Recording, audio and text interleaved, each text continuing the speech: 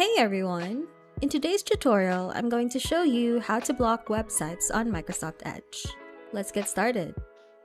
First, open Microsoft Edge and click on the three dots in the top right corner to open the menu. Next, select Extensions. Click on Get Extensions for Microsoft Edge. This will take you to the Microsoft Edge add-on store.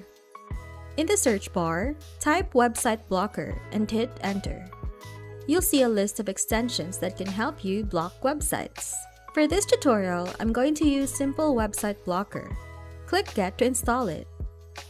And then add extension when prompted. Once the extension is installed, click on its icon in the toolbar and click Settings. Here, you can add the websites you want to block. For example, youtube.com. Then click on Add. Your blocked websites will be shown below. And that's it!